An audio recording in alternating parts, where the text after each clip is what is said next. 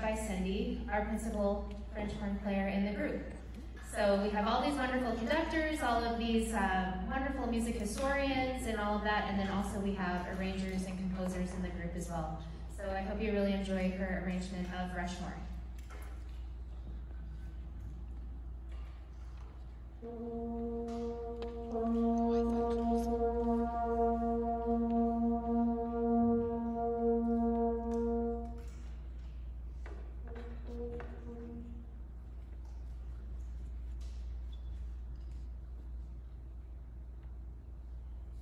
Thank you.